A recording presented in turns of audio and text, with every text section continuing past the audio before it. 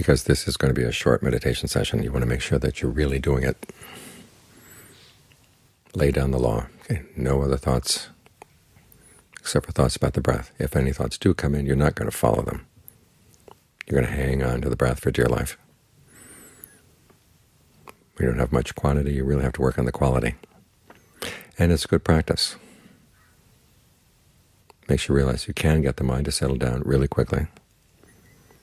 And then you take that lesson to the next time you sit for longer periods of time, where the mind has a tendency to want to just gradually glide down and finally reach concentration toward the end of the period.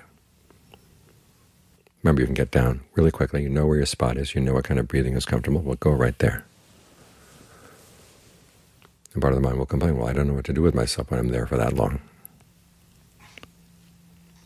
But this is where you learn the important skill of maintaining realizing that you've got something valuable, you don't want it to throw it away.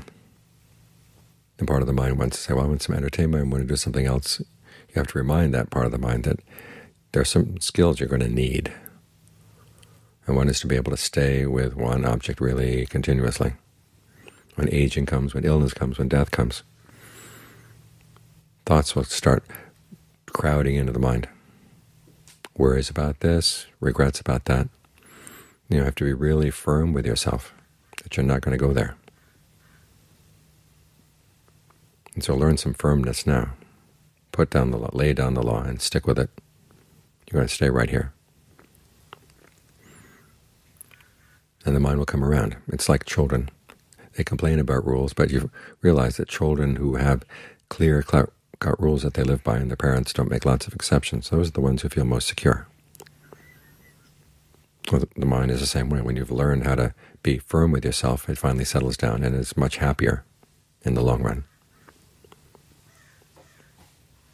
So there are times when you have to treat your mind like a ignorant little child who complains and wants this and says it wants this and says it wants that, doesn't really know what it, what would be good for it, what would really make it happy. It's just got some random vagrant notion has come into the mind, come into its head. And so you've got to be firm with it. Sometimes you reason with it, sometimes you simply say, nope, I'm not going to do that at all.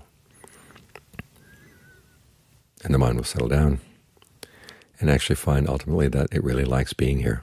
This is why Ajaan Suwat made that comment that one time about the people meditating in Massachusetts. They seemed so grim about their meditation because they hadn't learned the lessons that come from generosity, virtue, where things that may seem difficult in the beginning actually are good for you in the long run and they're cause for joy and happiness, the realization that you've developed these skills.